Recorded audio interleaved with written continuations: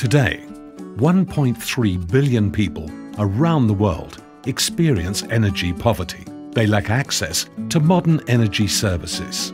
Renewable energy is essential to close this gap. Rooftop solar panels, wind turbines, biomass digesters and other sustainable technologies are cost-effective solutions. However, they require funding. Securing the necessary funds is one of the greatest challenges for the deployment of renewable energy in developing countries.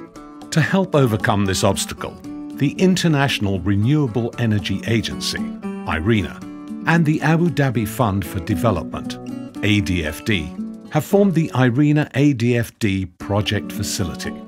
Committed to a sustainable energy future worldwide and working closely with IRENA, the UAE offered the sum of 350 million US dollars in concessional loans through ADFD to finance renewable energy projects in developing countries.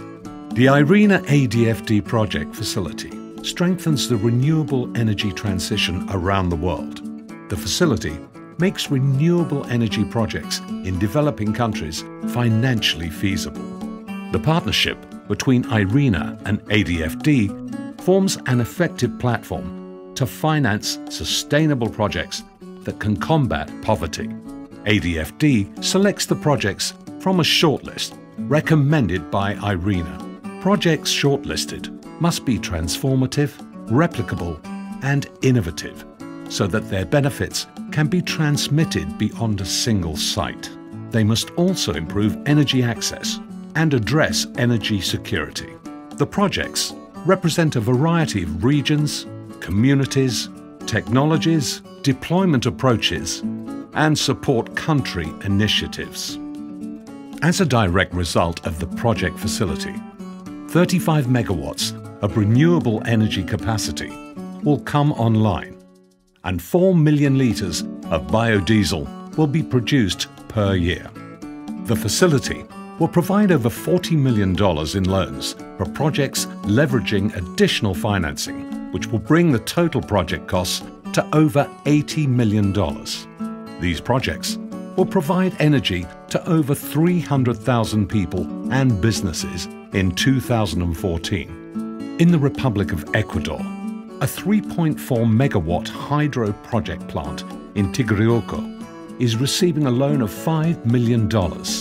The project will provide a stable energy supply to the community of over 7,000 people. It will power schools, and allow for the construction of a fully equipped medical facility. In the Maldives, a 2 megawatt waste to energy and water desalination project is receiving a loan of $6 million. This innovative concept and public private partnership is a model solution for waste on small islands. It will produce clean electricity and drinking water. As a result, this project will have significant health and tourism benefits for the local community of over 120,000 people. In Mali, the project will add over 4 megawatts of solar photovoltaic installations in rural areas through hybridization with diesel-powered mini-grids. It is receiving $9 million. This public-private partnership reduces costs and expands access to electricity in 30 villages. It will allow for small businesses to grow, power homes, improve schools and health centres by providing access to clean water and lighting. In Mauritania, a 15 megawatt wind energy project for four coastal communities is receiving $5 million. The project will provide energy to people isolated from the grid.